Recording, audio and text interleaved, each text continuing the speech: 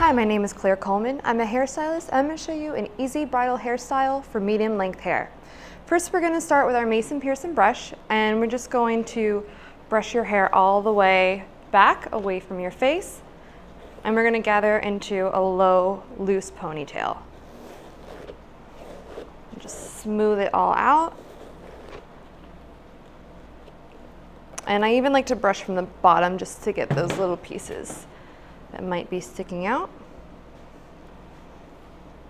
And just gather in a low, loose ponytail.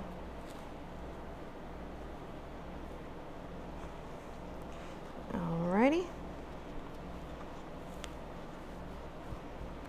And then we're just going to stick our finger in the middle of our ponytail close to, this, to the head. So you're going right here and you're just gonna pull the hair tie out a little bit and you're just gonna split. So you can see right here, we're just splitting the hair down the middle. And I'm just gonna reach my hand through and pull the ponytail up through this piece like that. So it's gonna look like this from the back. And then we're just going to tighten that up a little bit. So you can just tighten it by pulling the ponytail. And then I'm just going to take my ponytail section and just make two separate sections. And we're just going to twist a little. Just twist your section and wrap it around and pin it.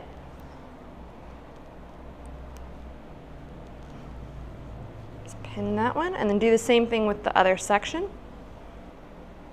And just make sure that you're connecting your twist to the base part of your hair.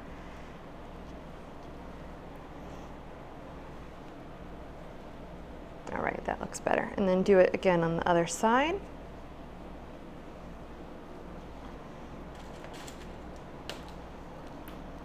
And just twist and then pin to your foundation.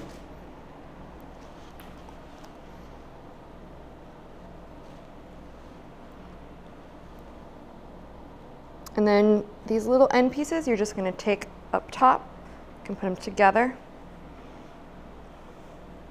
and just kind of tuck them into your design. On either side, and you're really just using your ends to hide your little ponytail holder there.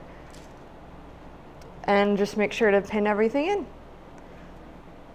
And you just wanna make sure that everything feels really secure you don't want your hair to be falling out and you really don't want to be worrying about it on your wedding day. And it makes it really easy just to use some extra pins and then you don't have to worry. You can also use a little hairspray if you want to keep your ends in really tight. I like messy looking hairstyles when I'm doing updo, so that doesn't really bother me too much, but it just gives it a little extra polish if that's the look you're going for. And you just want to check it, see if anything is going to be too loose. And we'll show you the look from the back. From the front. My name is Claire Coleman. I'm a hairstylist and I just showed you how to do an easy updo for medium length hair.